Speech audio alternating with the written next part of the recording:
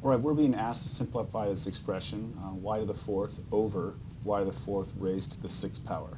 Uh, there's a couple different ways of doing this. Um, I'm going to um, just kind of go straight with the rules of exponents. First and foremost, whenever I have a situation here where I'm raising something in, with an exponent to an exponent, the rule says multiply those exponents together.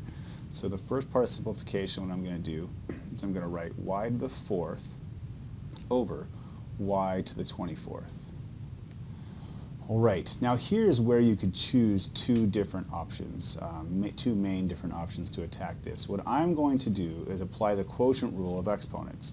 And what that says is I can simplify this expression by subtracting these exponents from each other. Take 4 and subtract 24 from that. If I apply that, what I'll get is y to the negative 20. And again, negative 20 is what I get when I take 4 minus 24.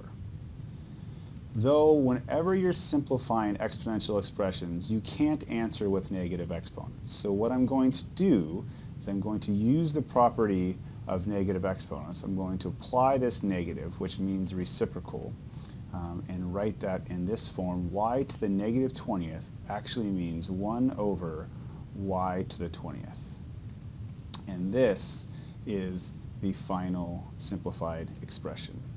Um, just to make one point, to go back to what would an alternative method have been to get from this point to this point, what you could do instead is think about this as canceling common factors, to where I cancel four of the y's on top with four of the y's on bottom.